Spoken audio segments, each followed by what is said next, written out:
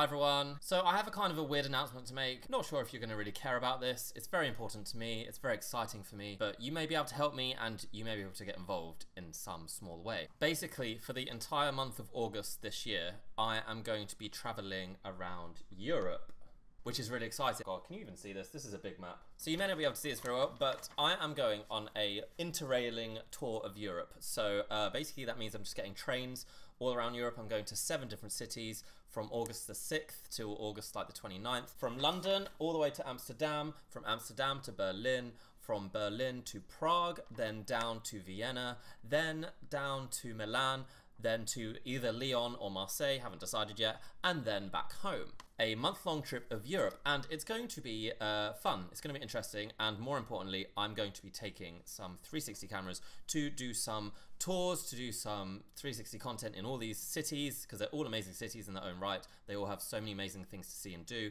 I want to create a virtual tour for each of these cities, similar to what I did for London. Um, go basically to some of the more interesting places, to some of the more places, well, some places that you wouldn't necessarily think of that aren't necessarily the most touristy places. Obviously, I'll do some of the touristy places as well. And I want to create this virtual tour of these cities so that people can get to know it and get to see what it's really like. Now, my issue is that while I did this for London, and it came out quite well, um, obviously I know London like the back of my hand, been here for five years, I know it well. However, I do not know Prague, Berlin, Amsterdam, Milan. I don't know those like the back of my hand. So I need your help. One, to tell me where I should go. What should I film in 360? What should I show on these virtual tours of these cities? Because I want to show the best places, the coolest places, the places that look amazing when you view it in a virtual reality headset and people are going to want to look at. Um, if you live in any of these cities, then please let me know where you think I should go, where you think I should film. And you know what, even if you're free, if you live in these cities and you want to meet up and you're into 360 cameras, 360 video, then um, I'm sure I can find some time. Hopefully, I can't promise, but um, yeah, it will be cool to meet up with people along the way. So yeah, that's basically it. A big European 360 adventure um, should be good. The other thing that I'm uh, thinking about or concerned about or not quite decided on is which cameras shall I take? I mean, I have quite a lot. So um, the last one I filmed, I filmed with the E360 because it shoots in 5K, 5.7K, looks very good once you edit it.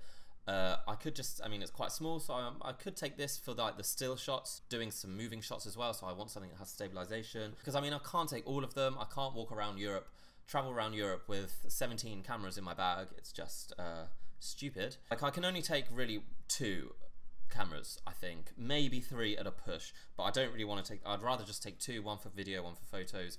Help me decide, you tell me what you think I should take and I will think about it and make a decision. Also, also, after I get back from Europe, so open this giant map again. I'm going around Europe, like I say, from the 6th till the 28th or 29th. Haven't actually decided when I'm coming back yet.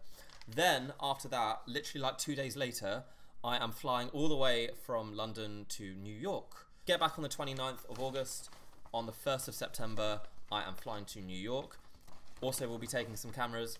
Um, so if you're in New York, again, it will be cool to for you to tell me or even show me if you can some really cool, interesting places that aren't necessarily like the tourist hotspots, but places that are really cool and that only guess someone who lives there would know about. I want to find these special places. So yeah, really looking forward to New York. So yeah, I guess that's it. Um, obviously throughout the whole month I'll be sharing on Instagram, taking some photos and videos and sharing. But at the end of it all, I want to come back and have enough video to create seven separate VR tours that do these cities justice, that show the cool spots, yes, the tourist spots, the places we all know, but also some hidden treasures, some places that only locals will know about that are also awesome, and I want to share these. So yeah, be cool if you guys could help me out. That would be awesome. So very excited. Europe, gonna be great, and then New York, which will be awesome. So yeah, I will see you around. Bye.